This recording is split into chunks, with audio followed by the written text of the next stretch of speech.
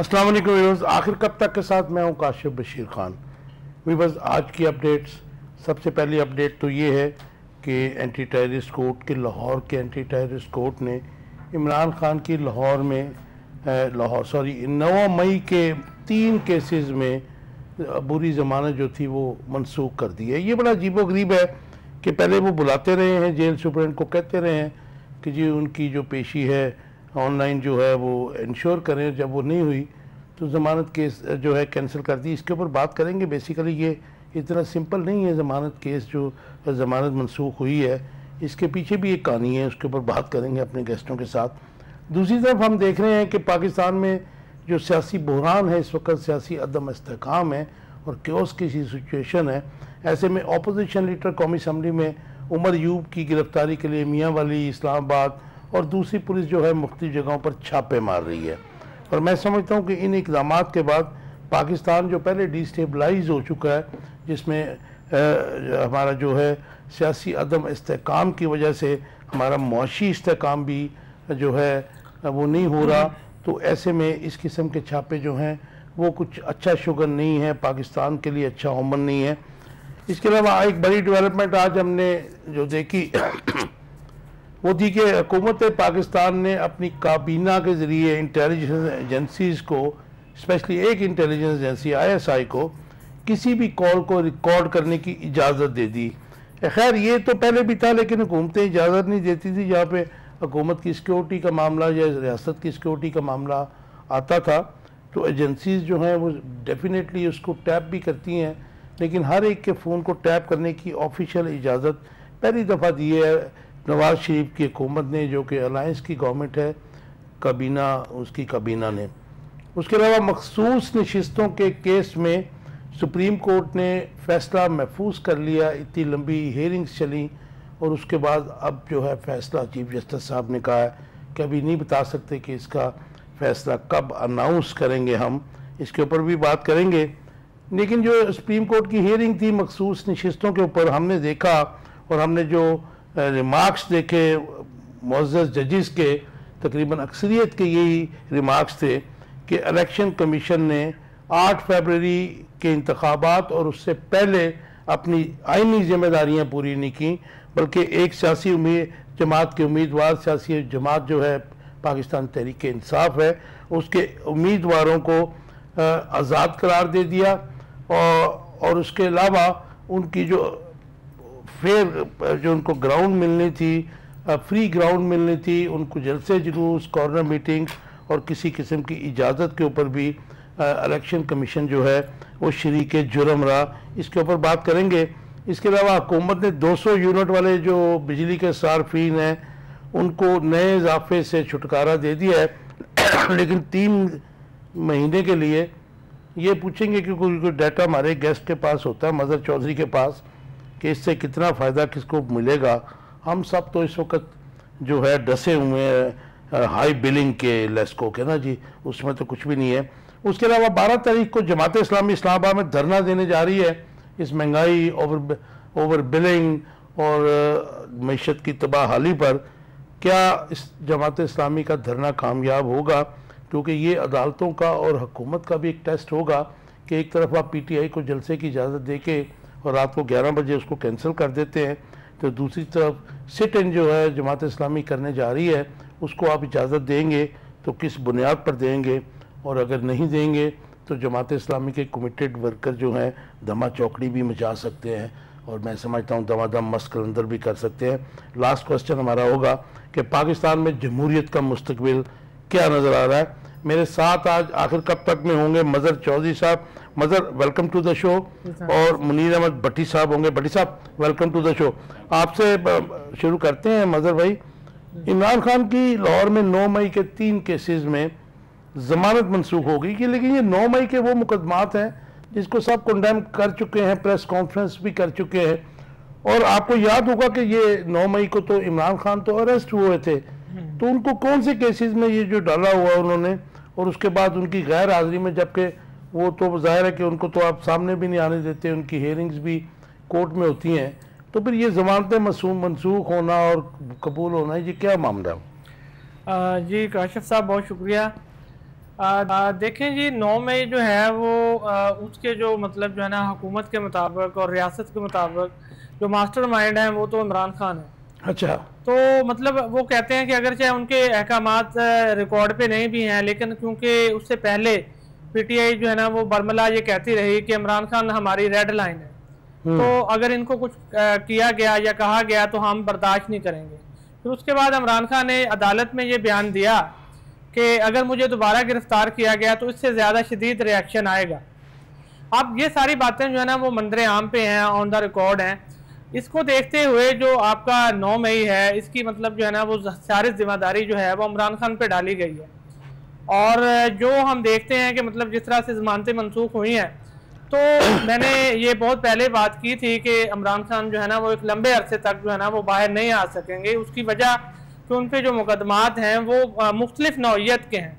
अगर एक मुकदमे में वो कहीं से बज निकलते हैं, दूसरे में मतलब जो है ना, वो घेरा तंग कर लिया जाएगा और इसी तरह अगर दो, बाकी सारे मुकदमात में एक एक करके निकल गए तो नौ मई जो है ना वो एक ऐसी चीज़ है जिसके ऊपर जो है ना वो ये कोई से कोई बड़ी से बड़ी सजा जो है ना वो भी दे सकते हैं नहीं, आप आप क्या समझते हैं जिस तरह तमाम दुनिया में इस वक्त जो है कुंडेम हो रहा है, पाकिस्तान में ह्यूमन राइट्स की वायलेशन, इमरान खान की गिरफ्तारी, और जिस तरह जो मुकदमात जो हैं, वो बिल्कुल ही पानी का बुलबुला साबित हो रहे हैं। तो ये सब कुछ करके आप क्या मुल्क के लिए कोई नेक नामी कमा रहे हैं? जी अगर हुकूमत कर रही है तो। देखें जी नेक नामी तो मेरा ख्याल है अगर हम कर लेते कुछ ऐसा सिलसिला हो जाता यहाँ तो मतलब जो है ना सारी बादामालियाँ ही हैं। हम जहाँ भी देखते हैं शर्मिंदगी शर्मिंदगी होती है। लेकिन मसला ये है कि जो सेटअप है मैं इसे ये बात करता हूँ कि जो सेटअप बना हुआ है आप इस सेटअप हम्म। में जो इमरान खान फ्री होके अगर आज़ाद होके बाहर आते हैं तो ये नुकसानदेह है उनके लिए। अच्छा मुझे एक एक हम क्यास कर लेते हैं। जी।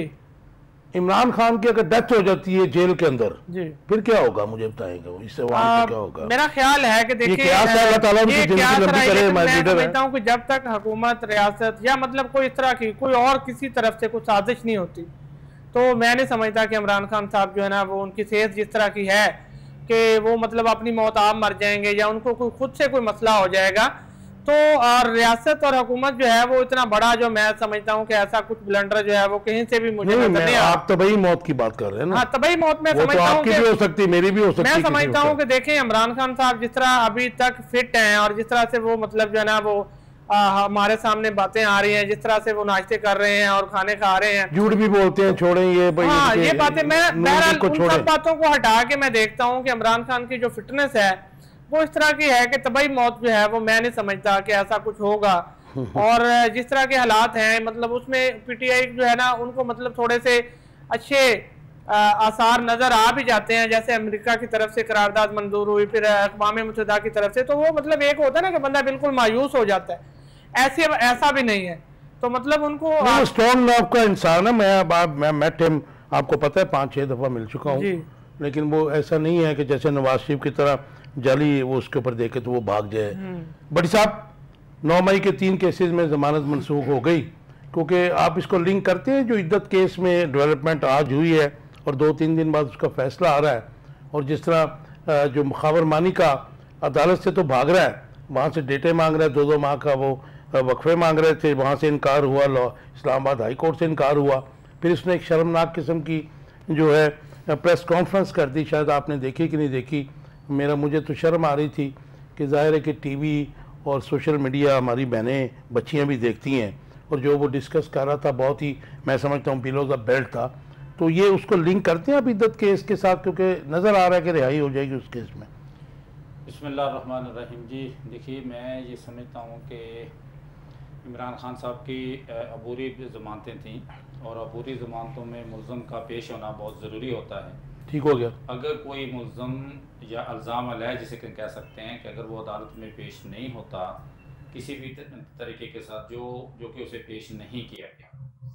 तो उस वजह से मवाद उनके पास था इस वजह से उनकी अबूरी जमानत खारिज कर दी गई। नहीं वो तो जज साहब सॉरी आपको इंटरप्ट कर रहा हूँ। जज साहब तो पिछली दो तीन हियरिंग में कहते रहे सुप्रीम हडेरा जेल को कि उन्हें उसके ऊपर भी वीडियो के ऊपर लेके आया वो नहीं लेके आए। तो आप नहीं समझते कि उस पर फिर जब ब्यूरोक्रेसी जब ऐसे काम करती है तो उसको भी जो है सज़ा मिलनी चाहिए, कम अज़ कम तोहन अदालत का नोटिस तो होना चाहिए उसकी मुलजम को सजा तो नहीं मिलनी चाहिए ना जी किसी भी। बात सही है अब देखना ये है कि अंदर के हकाइक क्या थे हम्म। क्या इमरान खान ने आने से इनकार किया जब वीडियो लिंक पे पेश वो नहीं होना चाहते कोई ऐसी स्टेटमेंट तो अभी तक नहीं आई। तो अब अदालत का फैसला आएगा तो उससे पता चल चलेगा किन वजूहत की बना पर अदालत ने उनकी अबूरी बेज जमानत खारिज कर दी। तो अब इसको इद्दत केस के साथ लिंक करना मेरा नहीं ख्याल कि ये सही है। वो एक वो एक अलहदा केस है और ये क्योंकि मजर जैसे कह रहे हैं कि उनका बाहर आना जल्दी जो है ना बाज़ार नज़र आ रहा है कि मुमकिन नहीं है। तो हो सकता है कि हुकूमत ने समझा हो कि वो तो दो चार दिन में जमानत हो जाएगी।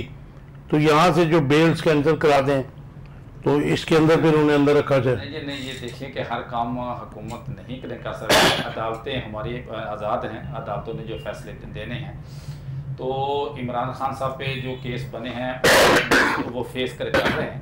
अच्छा हम्म। अच्छी बात है फेस करने चाहिए। आज अमेरिका ने भी एक स्टेटमेंट जारी किया है जिसमें 9 मई के वाकयात को कंडेम किया गया। उन्होंने कहा ये जलाओ गिराओ और दूसरी चीज़ें ये नहीं होनी बड़ा लेट किया है दो साल के बाद। हमारे आज़ादी अजारे राय होने चाहिए लेकिन इस तरह का जो पाकिस्तान में को हुआ ये नहीं होना चाहिए। तो इसमें आप नहीं समझते कि आईजी कम अज कम चले बाकियों के नाम नहीं लेते? इस आईजी जो पंजाब का है, ये भी उसमें जिम्मेदार था, कुंडन तो हम भी करते हैं, क्योंकि इसके होते हुए सब कुछ हुआ तो इसने तो अपना एक एसएचओ दो या तीन थानों के वहाँ पे एस एच जो है ना कैंट की लेने बात शुमाली छानी जनूबी छानी और सरवर रोड के, वो तो एस एच ओ तक इसने सस्पेंड नहीं किए। देखिए ब्लैक नहीं था इसका जी वहाँ पे? बिल्कुल लैक है और जिस तरह देखें वहाँ पे फौजी एरिया में किस तरह पब्लिक चल चली गई और किसी ने उनको रोका ही नहीं। हम्म। तो जब उन्हें पता था कि ये लिबर्टी चौक से जब वो ऐलान करके चले कि हम कमांडर हाउस की तरफ़ जाएँगे तो हुकूमत को चाहिए था जो उस वक्त इंतजामिया थी उनको कंट्रोल करती। लेकिन वो कंट्रोल करने में नाकाम रहे। आपको याद होगा कि yeah. ये जो स्टेशन कमांडर लाहौर हैं उनके साथ के क्या हुआ है? तो ये सिर्फ़ इसी इसी वजह से सज़ा दी है। तो इस तरह जो जिम्मेदारान हैं उन्हें सज़ा नहीं दी गई। और इस ये जो बंदे गिरफ़्तार हुए हैं इनमें बहुत सारे बेग बेगना लोग हैं। तो मैं ये समझता हूँ कि जिन लोगों ने ये जुर्म किया है शरीक जुर्म थे उन्हें सज़ा होनी चाहिए। उन, उन्हें इबरतनाक से सज़ा होनी चाहिए। और जो बेगना है उन लोगों को आज़ाद नहीं होना चाहिए। राइट इसी में बात कर रहे थे मगर इस बात से कोई इनकार नहीं है कि सज़ा होनी चाहिए।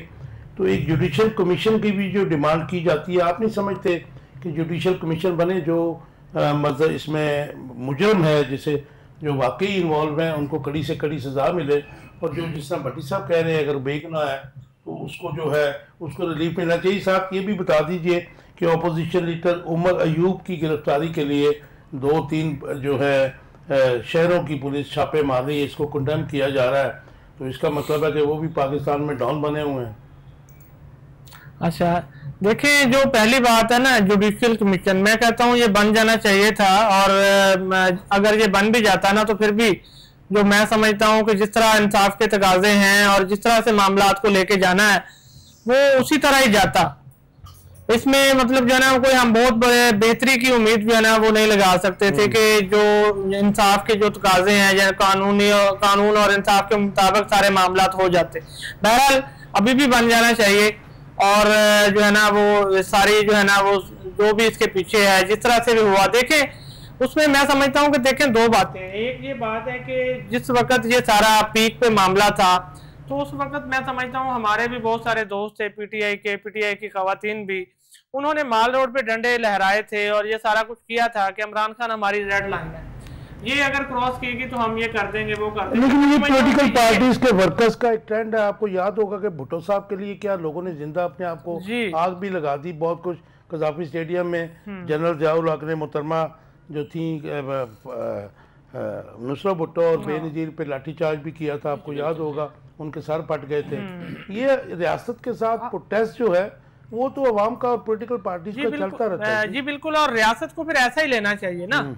रियासत को इसको पॉलिटिकल पार्टीज़ का जो मतलब रिएक्शन जो है ना वो समझना चाहिए जिस तरह लेकिन अब मसला इसको गद्दारी से जोड़ दिया गया है इसको हम्म। मतलब जो है ना वो कर दिया गया आपने है। बात किया तो ये मैं समझता हूँ कि ये ओवर एस्टिमेट किया गया मामले को मतलब जो है ना वो इसको अगर इतना ही लिया जाता समझते कि नून लीग ने इसको अपने हक में यूज़ किया है। हालाँकि उस वक्त गवर्नमेंट भी उनकी थी। जी जी। मैं समझता हूँ कि नून लीग के हक में ये मामला हो गया इसके अलावा जो आपके मतलब जो है ना बाकी सारे जो मामला चलाने वाले हैं उन लोगों ने भी मतलब इसका फ़ायदा उठाया। क्योंकि असल मसला ये था कि किसी न किसी तरह खान साहब को दबाया जाए और उनको शराइत बनवाई जाए लेकिन वो जब नहीं माने और उस तरह का सूरत हाल नहीं बनी तो फिर जो है ना वो आगे आप देख रहे हैं कि किस तरह से इस मामले को रंग दिया गया और इसको बिल्कुल एक गद्दारी से जोड़ दिया गया।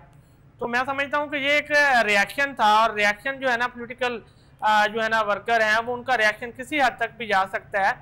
लेकिन लेकिन अकवाम मुतहदा की जो रिपोर्ट है बल्कि एंटेनियो गोतरेस ने भी ये बात की है कि आप 9 मई को तो बात करते हैं, लेकिन उससे पहले जिस तरीके से गैर आइनी तौर पे गैर कानूनी तौर पे बानी चेयरमैन जो हैं, इमरान खान, उनको पकड़ा गया था और सुप्रीम कोर्ट ने फिर उनको रिलीज़ किया था, उसके ऊपर बात क्यों नहीं की जाती? वही बात आती है ना, देखें, कोई भी चीज़ अगर ऐसे ही हमारे सामने आ जाए, अगर 9 मई के पीछे जो वाकयात हैं, जो पीछे एक तसलसल है, वो सारे काम अगर ना होते, वो पाबंदियाँ, वो सारे फैसले तो मेरा ख्याल है कि कोई भी नौ मई नहीं यहाँ होना था। जब मायूस हो जाते हैं जब आवाम मायूस हो जाती है वर्कर मायूस हो जाते हैं कि हमें इंसाफ नहीं मिल रहा हम्म। तो फिर इस तरह का रिएक्शन होता है और ये ये लहदा बात है अच्छा चले जी वो तो हो गया रिएक्शन एक लीडर के लिए हम्म। अभी ये जो छापे मारे जा रहे हैं हम्म। तो आप समझते हैं कि इतनी कमज़ोर हुकूमत जिसके ऊपर तमाम हुकूमत के ऊपर दाग है धांधली के और वो जो ज़ाहिर है कि बजाय नज़र भी आ रहे हैं और उसको बचाने की भी कोशिश हो रही है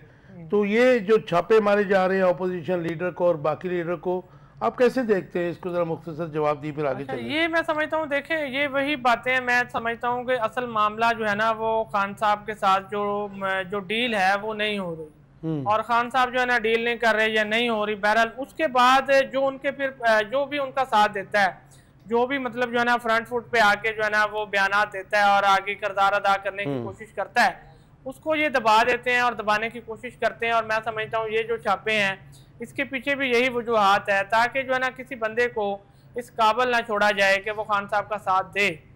और जो है ना वो सारे लोग जो है ना वो आहिस्ता आहिस्ता खुद पीछे हट जाएँ और खान साहब एंड पे आके मजबूर हो जाएँ।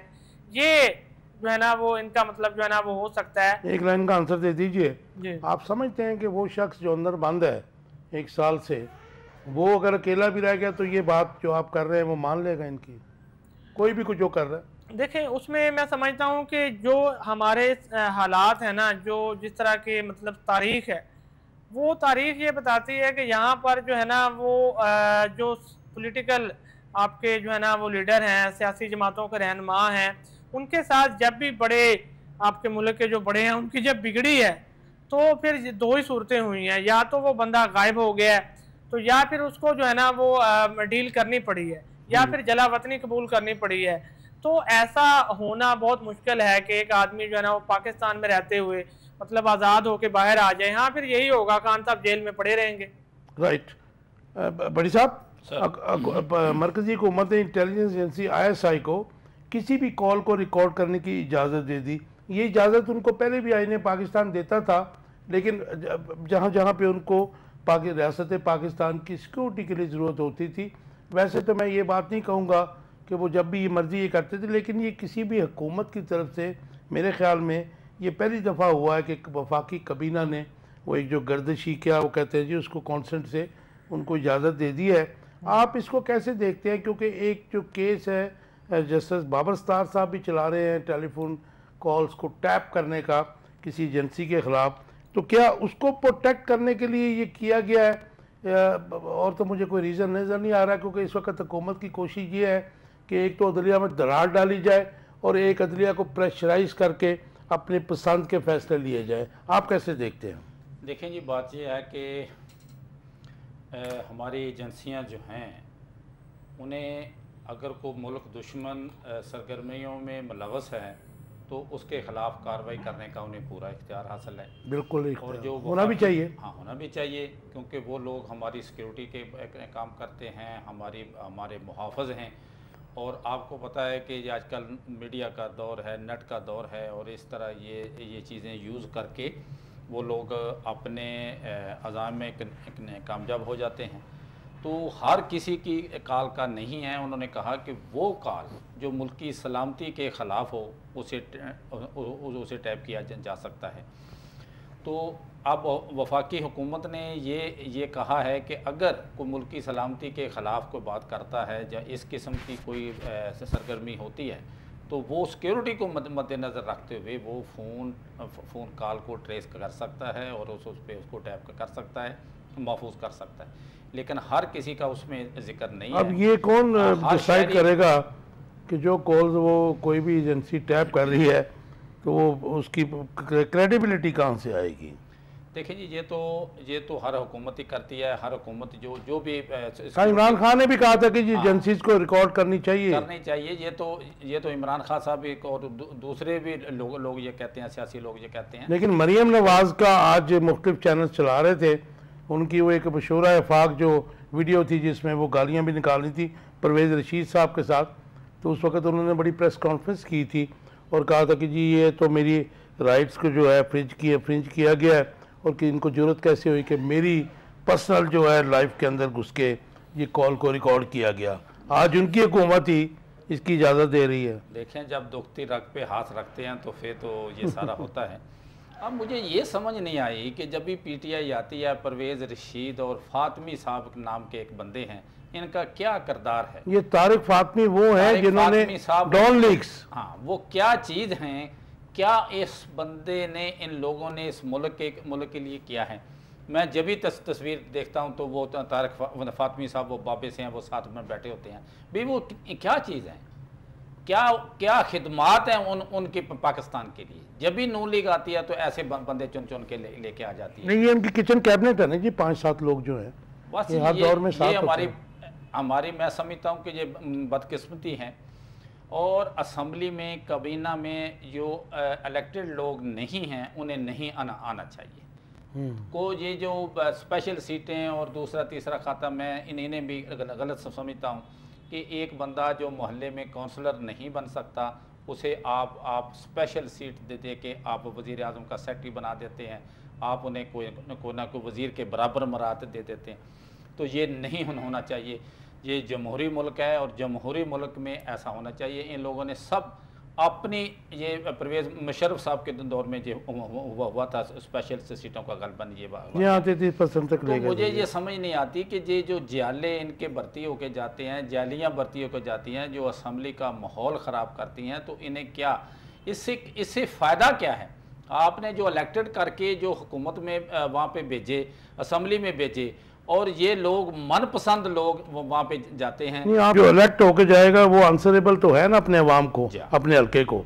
तो इनका गिरेबान को कैसे पकड़ेगा? ये ये सब जाले होते हैं पार्टी अकोमोडेट करती है तो ये ये गलत है ये ये मुल्की ख़जाने पे बोझ है।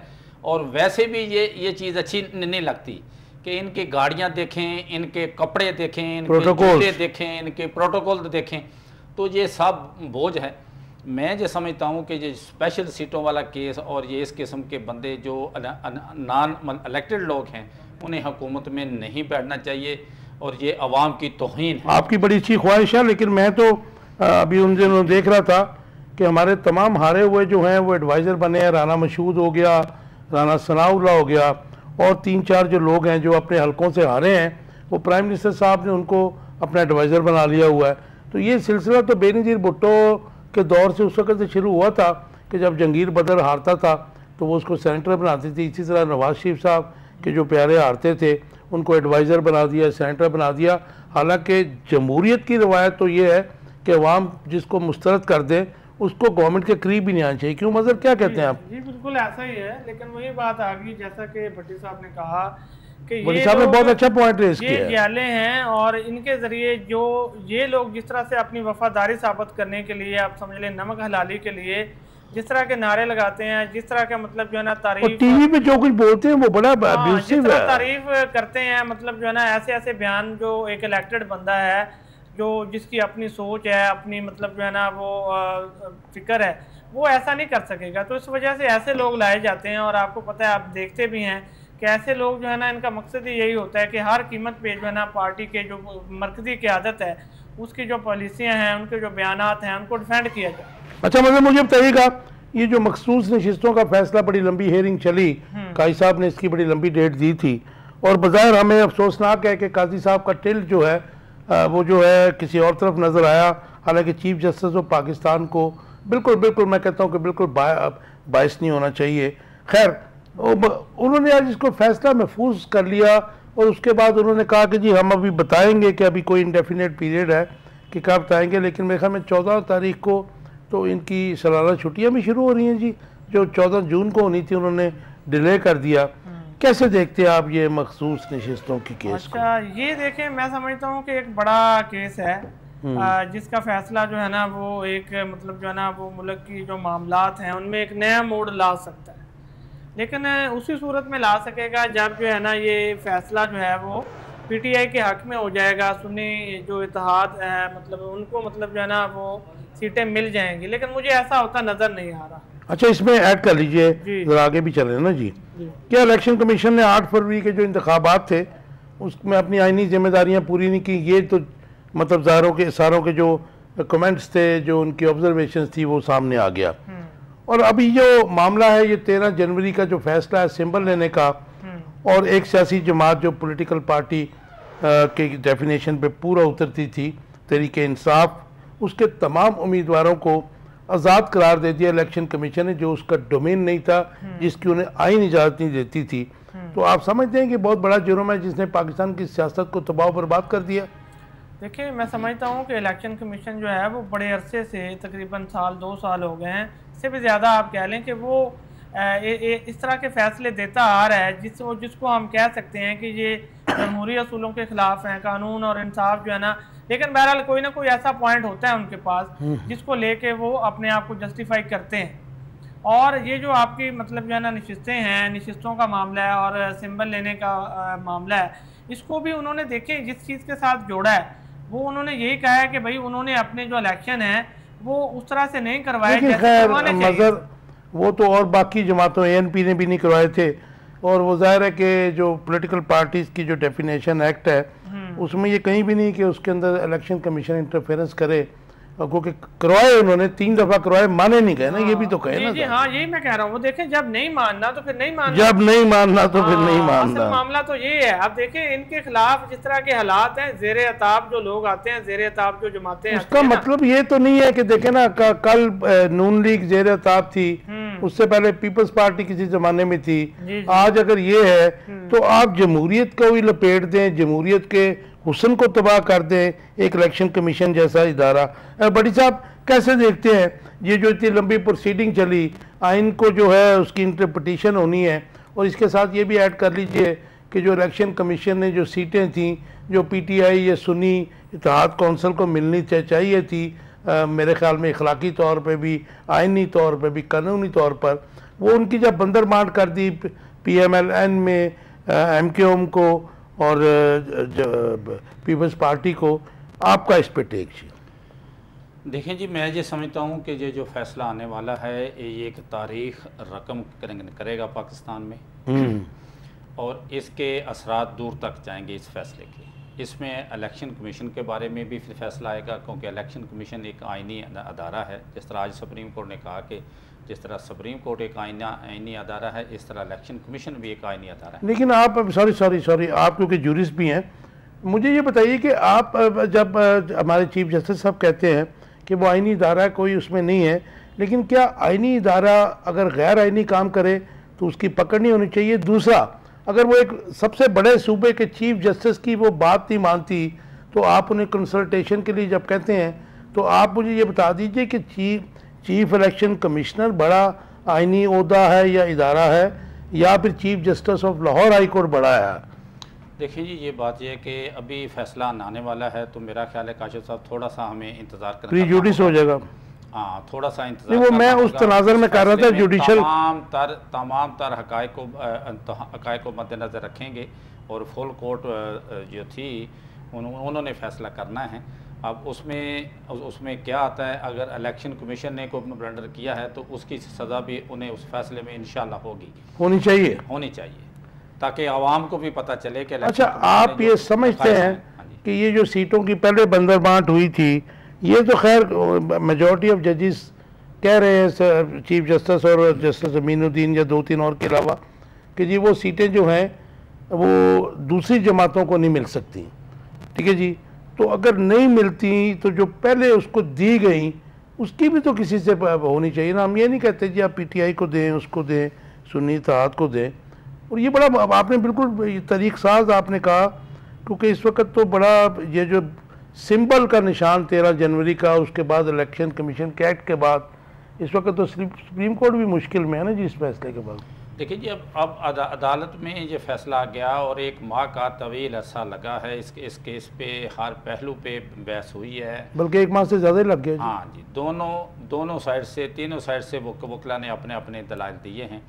तो अब इलेक्शन अब जब सुप्रीम कोर्ट और पाकिस्तान पे है कि वो क्या फ़ैसला आता है, जब तक वो फैसला नहीं आ जाता, हमारी तो एक राय है।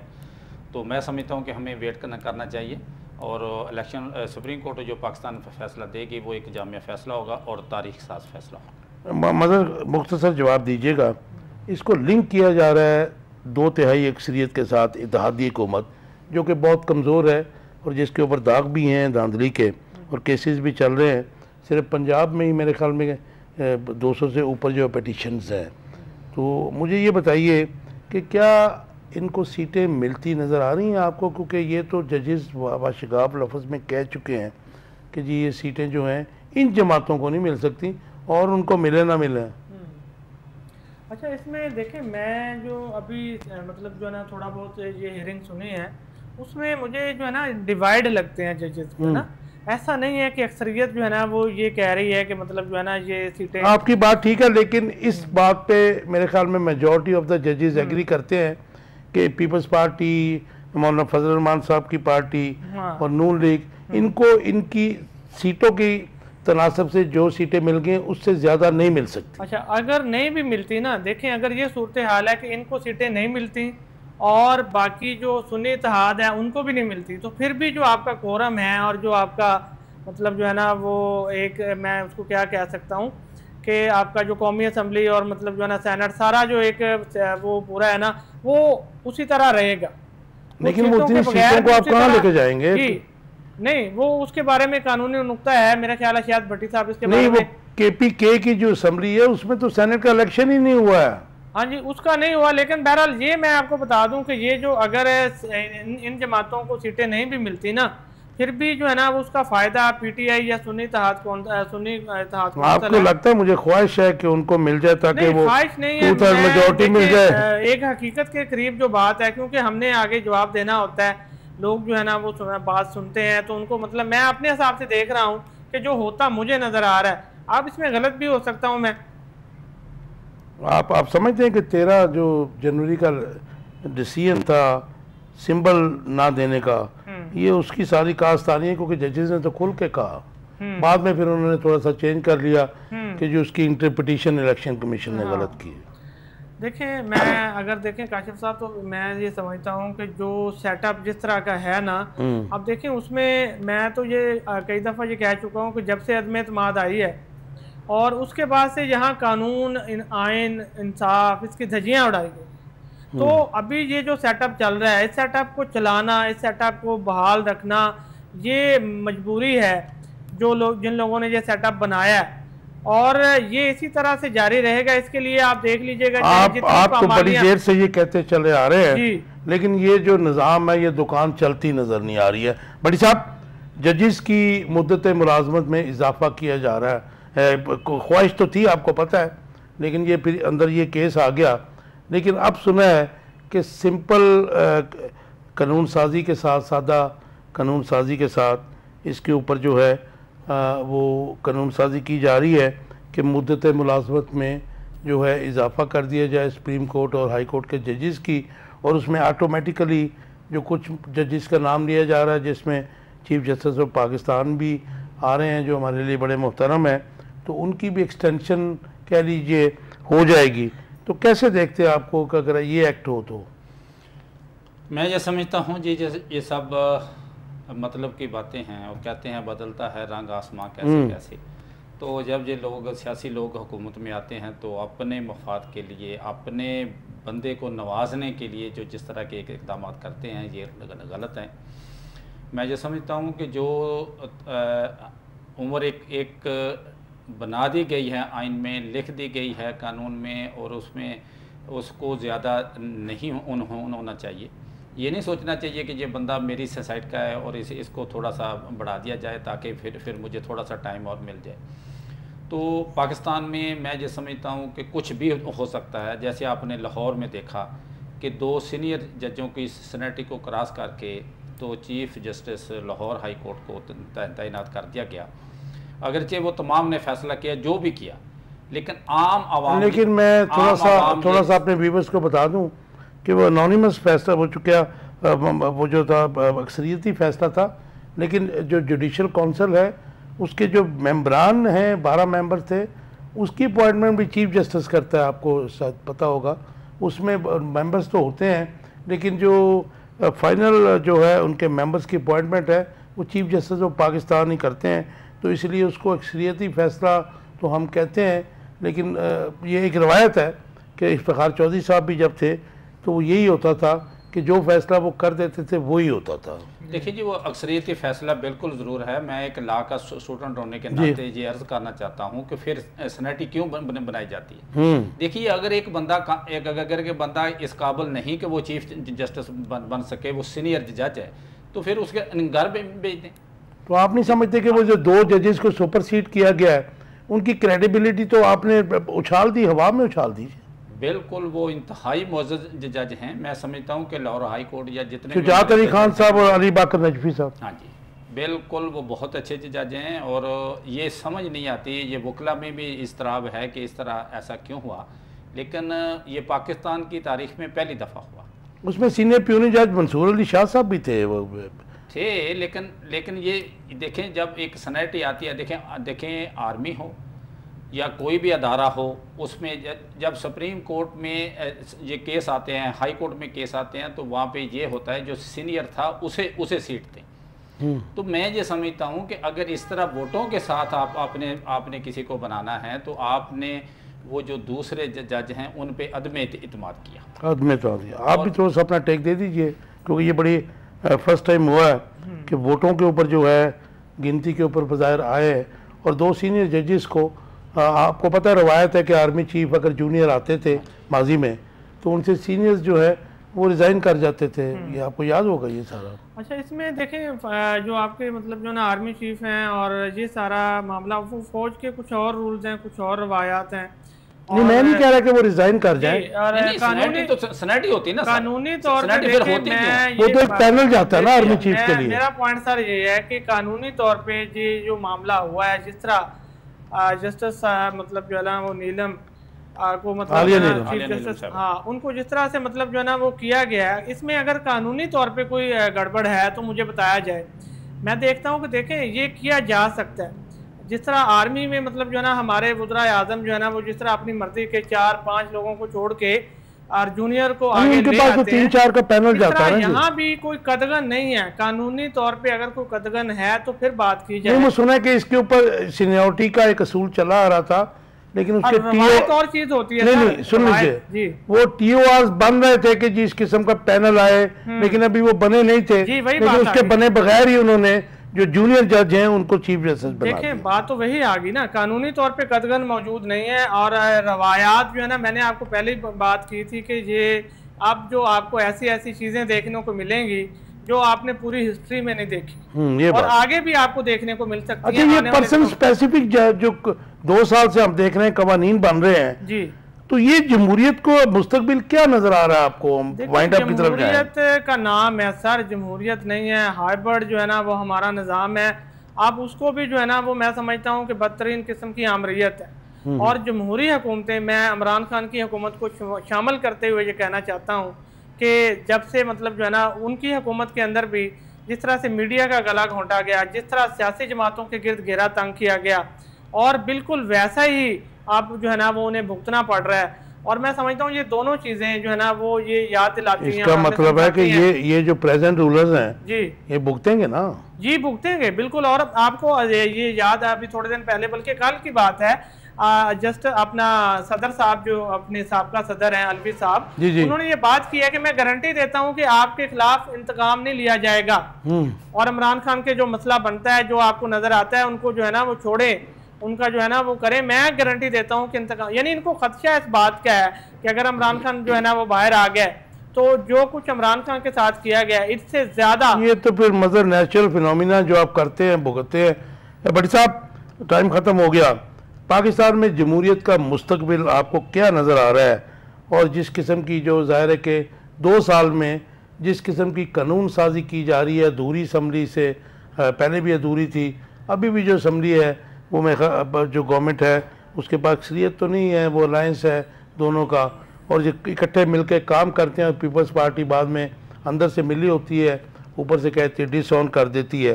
तो इस किस्म की जो कानून साजी है ज़ाती मफादात के लिए वो कब तक चलेगी और इसका जमहूरियत का मुस्तबिल से ताल्लुक़ क्या है? देखिए जी मैं ये समझता हूँ कि पाकिस्तान में आप कह रहे हैं कि जमहूरीत को कौन सी जमहूरियत है? मुझे तो जमहूरियत नज़र नहीं आती। हम्म। जमहूरी होती है कि हमारा पार्लियामेंट्री सिस्टम है हम लोग वोट देते हैं तो ये लोग इलेक्ट हो के आगे जाते हैं। और इन लोगों का बुनियादी फ़र्ज़ होता है कि अपनी आवाम के बारे में बेहतर सोचें। जमहूर के बारे में सोचें। जमहूर के बारे में बेहतर सोचें। लेकिन ऐसा तो होता हुआ नज़र नहीं आ रहा। हम्म। और बुरी तरह नाकाम हैं। आपने देखा कि लोग ये इस, इस जमहूरियत ने हमारे लोगों के साथ ये किया है कि लोग बिल देने की वजह से रोते हैं। आपने एक देखा कि सीनियर अदाकार हैं वो वो बिल की ये हमारे दोस्त है राशिद महमूद। हाँ, सामने रख के वो लोग रोए। बहुत सीनियर बहुत बड़ा सरमाया है अगर उनकी ये ये हालत है तो आम गरीब आदमी जो किराए के मकान में रहता है। ये तो स्टोरियाँ अब चार पाँच दिन से हमारे पास आ रही हैं जी बड़ी ये बड़ी खौफनाक पिक्चर है। क्या हुकूमत हुकूमत सोई हुई है। ये अपने अपने जो मराहत है उनको कम कर दे। अफसोस ये होता है कि ये नाकाम हुकूमत है ये अवाम के बारे में नहीं सोच सकती ये कह रहे हैं हम हम जमहूरी हैं कौन सा जमहूरी सिस्टम तो इसका मतलब है कि हम एक बड़े खौफनाक जो रात का हाँ। डेर है जिसके नीचे चिंगारी है उसके ऊपर बैठे हुए हैं किसी वक्त भी वो चिंगारी पटक मजदूर आदमी जो किराए के मकान में रहता है उसके तीन चार बच्चे हैं जो हज़ार बारह सौ रुपया दिहाड़ी कमाता है वो भी कभी लगती है कभी नहीं लगती। तो खुदा के बंदो हुकूमत की जो ज़िम्मेदारी है बुनियादी हकूक फराम करना उनकी ज़िम्मेदारी हाँ, इनके पच्चीस आर्टिकल भी ये कहते हैं। आपने आपने अपने बारे में सोचा है अपनी तनख्वाहें आप बढ़ाते हैं गवर्नर की बढ़ाते हैं सदर की बढ़ाते हैं वज़ीर आज़म और कबीना की बढ़ाते हैं असम्बली के लोगों की बढ़ाते हैं। वो कभी आवाम के बारे में सोचा? आपने कितनी अप, अपनी तनख्वाहें बढ़ाई हैं? और गरीब आदमी को आपने क्या दिया? कितनी तनख्वाह बढ़ाई और कितना टैक्स लगा दिया? मैं ये समझता हूँ कि ये हुकूमत में बैठे हुए जो लोग निशान इबरत बनेंगे और एक वक्त आएगा और वक्त आने वाला है कि जो। अवाम जो ना हुकूमत के खिलाफ निकलेगी। निकलेगी राइट लास्ट क्वेश्चन है सिंगल लाइन आंसर दे दीजिएगा मुझे टाइम खत्म हो गया। क्या इस्ला जमात इस्लामी का इस्लामाबाद में धरना कामयाब होगा और क्या उसको इजाज़त दी जाएगी? क्योंकि पीटीआई को तो इजाज़त दे के वापस ले ली जाती है रियाती जबर का सामना करना पड़ता है। और 200 यूनिट वाले जो रिलीफ की बात की जा रही है उसमें क्या हकीकत है? मुख्तसर अच्छा, जवाब दो सौ यूनिट वाले रिलीफ की बात है देखिए मैं तो इसके बुनियादी खिलाफ हूँ इसकी रूह के खिलाफ हूँ। मैं हम्म। समझता हूँ कि पंद्रह से बीस रुपए जो बिजली का बुनियादी रेट है? टैरफ वो सबके लिए काम होना चाहिए ये ड्रामेबाजियाँ तीन माह के लिए किया उन्होंने? ये एक दो महीने एक सौ यूनिट दो सौ वाले यूनिट की जो ड्रामेबाजियाँ खत्म होनी चाहिए यहाँ मतवसत आदमी जो है ना वो क्या वो दो वो दो सौ यूनिट में गुजारा कर सकता है? नहीं कर सकता। दूसरा मैं समझता हूँ कि जमात इस्लामी का जो धरना है वो या प्रोटेस्ट है वो खुशाइंद है। क्योंकि यही एक जमात थी मैं इसको बारे में पहले कहा था कि इस्लामाबाद में इजाज़त मिल जाएगी जी उसको? आ, मिलनी चाहिए और मैं समझता हूँ ये तजाद नज़र नहीं आएगा फिर वो भी पोलिटिकल जमात है लेकिन फ़र्क है फ़र्क उसमें है क्योंकि आपको पता है कि जमात इस्लामी जो है वो इन्होंने जिस तरह से उसको मतलब अपने साथ वो कर लेते हैं देखें ये तहरीक इंसाफ के तो फिर ये धरना फिर वो हम्म। वही हो गया ना जी कॉस्मेटिक हाँ, हो गया। बड़ी साहब धरना अगर इजाज़त उसको मिलती है उसको पीटीआई को इजाज़त नहीं मिलती तो फिर ये क्या हालात होंगे? और ये 200 यूनिट वाला जो उन्होंने लॉलीपॉप दिया है इसमें क्या हकीकत है? दो लाइन का आंसर दे दीजिए मैं ये कहना चाहता हूँ कि ये जो 200 यूनिट वाला है इस इस पे मैं तो कहता हूँ कि इलेक्शन में किए गए वादे के मुताबिक अगर वैसे ही अ, मतलब Free। वेव ऑफ़ कर देते तो बहुत अच्छी बात थी।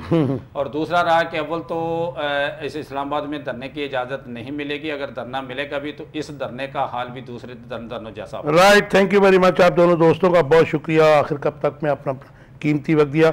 विवर्स आप देख रहे थे आखिर तक उम्मीद है आपको ये प्रोग्राम पसंद आया होगा। हमने कोशिश की आप तक सच पहुँचा चुक सकें। और ज़ाहिर है कि मौजूदा मुल्क बदतरीन हालात के तनाज़र में अ, हमारी भी ज़िम्मेदारी बनती है कि कोशिश की जाए कि जो पब्लिक ओपिनियन है उसको पे भी किया जाए और कूलेंट का काम किया जाए क्योंकि आवाम के जो जज्बात हैं वो बढ़ते हुए तेल की कीमतें बढ़ती हुई एनर्जी के जो कीमतें हैं स्पेशली बिजली का बिल और सुई गैस के जो रेट्स हैं उस तनाज़र में सातवें आसमान तक पहुँच रहे हैं, क्योंकि जमूर को जो है, जमूर की नफ़ी हो रही है इस दौरे हुकूमत में। हर दौर में होती रही है आप कुछ ज़्यादा हो रही है। आपके फीडबैक का इंतज़ार रहेगा। अपना बहुत ख्याल रखिएगा। अल्लाह हाफिज़।